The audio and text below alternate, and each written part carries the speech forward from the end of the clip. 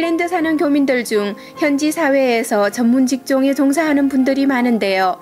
이런 분들이 정보 공유를 위해 많이 애쓰고 있습니다. 이번 소식은 이러한 정보 공유에 대한 세미나 개최 소식입니다.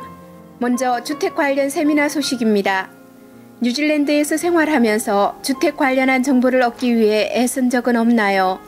여기저기서 전해 듣는 정보 중에는 정확하지 못한 정보가 있어 당혹스런 경우를 만날 수도 있는데요.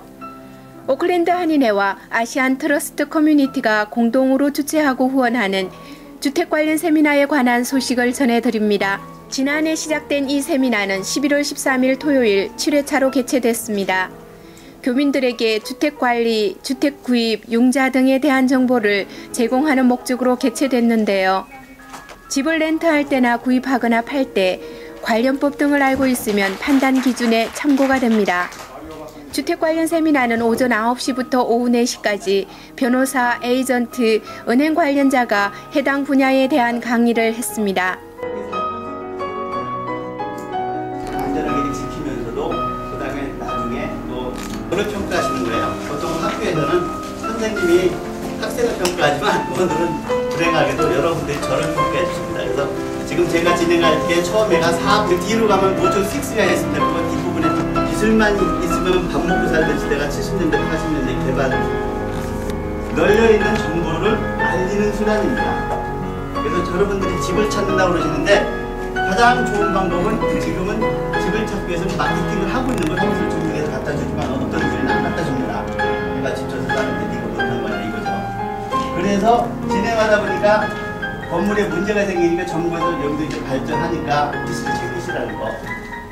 그 다음에 2004년에 건축법은 이제 cavity 시대로 들어가서 커튼이나 블라인드 상태 괜찮은지 커튼 아무것도 아닌 것 같아도 몇천 번 웹사이트에 가면은 대출 상환할 때 나 얼마 얼마 정도 빌리고 싶고 내 income이 얼마다 하고 딱 넣으면요. 또 알아서 계산.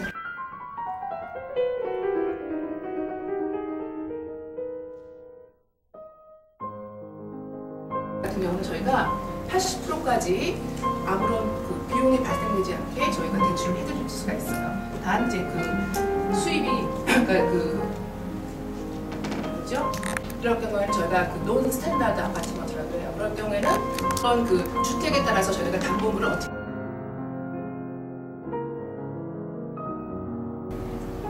공인중개사가 보통 많이 끼니까 본인들이 그, 그 중개료를 어디서 법비를 어디서 만들어요?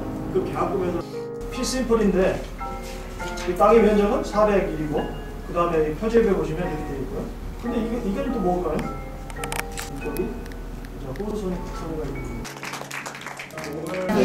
오늘 오늘 강의 어떠셨어요? 네, 너무 좋았습니다. 어떻게 제일 괜찮으셨어요?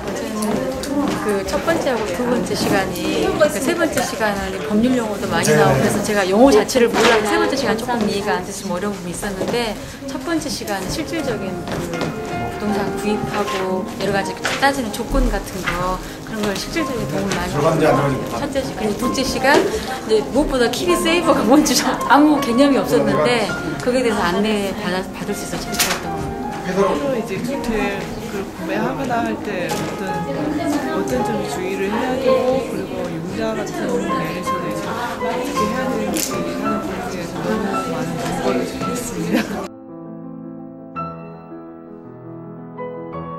네, 어떤 게 좀 도움이 되, 되실 것 같으세요? 너무 많았는데 여기 도움이 정말 많이 됐어요.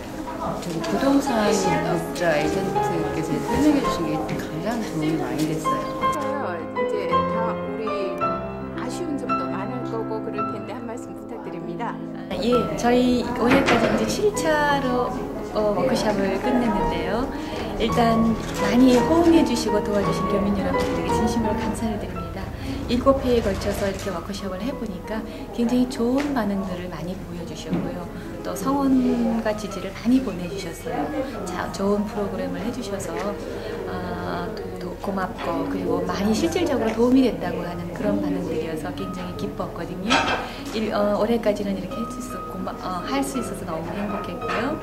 제가 지금 이제 한 가지 고민을 하는 게 있다면 아쉬운 게 있다면 이러한 기회에 이러한 워크숍이 제공되었을 때 보다 더 많은 교민들이 참가를 해서 많이 많이 얻어갔으면 하는 그런 바람입니다.